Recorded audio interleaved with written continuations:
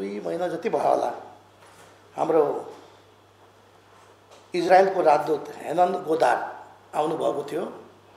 आधा घन्टा जति उहाँसित गफबाफ भएको थियो र मैले उहाँलाई के भने Nepal is open for tourist भनेर उहाँले भन्दा you please send some tourist to our country Nepal भने। Minister how it will be possible you are paying in air in air airlines you are paying only two thousand we are paying eight thousand भने क्या उसले हुन त आउनुको यहाँ अध्यक्षज्यू पनि यही हुनुहुन्छ। अब निजी क्षेत्रका साथीहरू पनि यही हुनुहुन्छ। तर म यो भन्न चाहँदैन। तर मैले के भन्दा कोभिडले गर्दाखेरि थला परेको यो हाम्रो क्षेत्र पर्यटन क्षेत्र दुई वर्षसम्म दुई वर्षदेखि उहाँहरूलाई पनि त मार्ग छ मार्गमा छ एयरलाइन्सहरू। त्यसलाई now it is not possible भनेर मैले उहाँलाई त्यो पनि सम्झाएको थियो। त्यो त्यस्ता कुराहरू पनि आएको छ क्या अध्यक्षज्यू त्यो हुनाले यसलाई हामीले गम्भीरतापूर्वक लिन जरुरी छ। हामी अन्य विदेशमा जाँदाखेरि जति त्यहाँको नागरिकले तिर्छ उति नै हामीले पनि तिर्ने गरेका छौँ। तर हामी कहाँ चाहिने त्यो भएन। त्यसलाई अलिकता सुधार्ने क्रममा पनि हामी जानेछौँ भन्ने मैले यहाँलाई आग्रह गर्न चाहेँ।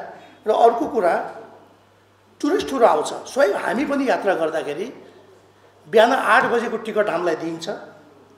प्लेन दस बजे एघार बजे उठ्छ क्या। समस्या त्यो विडम्बना छ।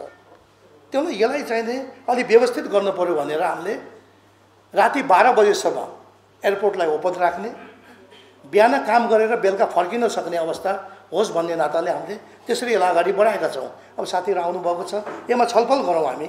यसलाई कसरी समाधान गर्न सकिन्छ? कसरी यसलाई सहज गर्न सकिन्छ? अब पेसेन्जरलाई दुःख दिएर दुई घन्टा तिन घन्टा उनीहरूको टाइम किल गरेर हामीलाई बेनिफिट त हुनेवाला छैन।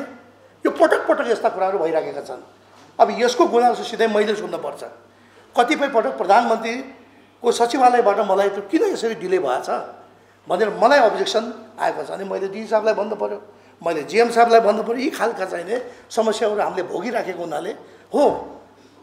एघार बजे उडाउने कुरा छ भने एघार बजेको टिकट दिनुहोस् न। किन आठ बजेको तपाईँहरू चाहिँ टिकट दिनुहुन्छ? एघार बजे उडाउनु त्यो त राम्रो भएन। दस पन्ध्र मिनट बिस मिनट आधा घन्टासम्म त okay it's okay no problem. कहिलेकाहीँ ट्राफिक जाम हुन्छ कहिलेकाहीँ विभिन्न प्रब्लमहरू हुन्छ। तर अरू बेलामा कम्तीमा टाइममा उडाइदिनुहोस्। हाम्रो यति मैले यहाँलाई आग्रह पनि गर्न चाहेँ। नेसनल लाइफ उच्चतम प्रतिफल र सुरक्षित भविष्य। गृह मन्त्रालयको अन्तर्गत रहेको इमिग्रेसन र अर्थ मन्त्रालय अन्तर्गत रहेको यो भन्सार विभागले गर्दा आज हरेक टुरिस्टहरू एयरपोर्टमा झर्न साथ दुई घन्टा ढाई घन्टा लाइनमा उभिनु पर्ने।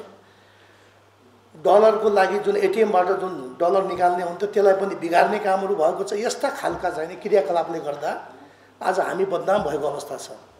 अब एयरपोर्टमा टुरिस्टहरू आइसकेपछि यो पर्यटन मन्त्रालयको एभिएसनको जिम्मेवारी हो भनेर उहाँहरूले सोच्नुहुन्छ। हामीले पटक पटक पटक पटक ताकेता गरेका छौँ। यस्तो नगर्नुहोस्। कम्तीमा चाहिने लाइनमा उभिँदाखेरि घन्टौँ घन्टा उभिनुभन्दा बरु त्यसमा डेस्क थप्नुहोस्। आठवटाको ठाउँमा सोह्रवटा गर्नुहोस् भन्दाखेरि कुनै सुनवाई भएको छैन। म बडा दुःखको साथमा भन्न चाहन्छु।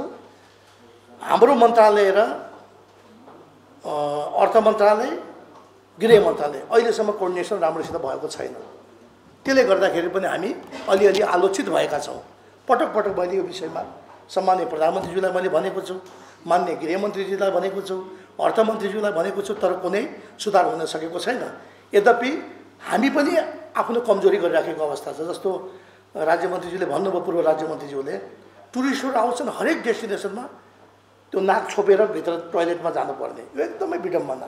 त्यो अहिले हामी यसलाई फरक ढङ्गले अब नेपालीहरूले कन्ट्र्याक्टरहरूले राम्रोसित त्यसलाई व्यवस्थापन गर्न सकेन भने हामीले यसलाई विभिन्न यसलाई व्यवस्थित गर्नको लागि म्यानेजमेन्टको निमित्त बाहिरी कम्पनीहरूलाई बोलाएर पनि यसलाई अगाडि बढाउनुपर्छ कि भन्ने हामीले नयाँ ढङ्गले यसलाई छलफल गराइराखेका छौँ। कि काले आउने कि गोरे आउने दुइटा मात्रै ठेकेदार छन् त्यहाँ।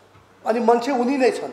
अनि कहाँबाट चेन्जिङ आउँछ त त्यो हुनाले हामीले अस्ति सचिवजी डिजी साहब लगायत हामी बसेर यसलाई फरक ढङ्गले लग्नुपर्छ भनेर हामीले त्यो तयारीका साथ पनि अगाडि बढिरहेको अवस्था छ।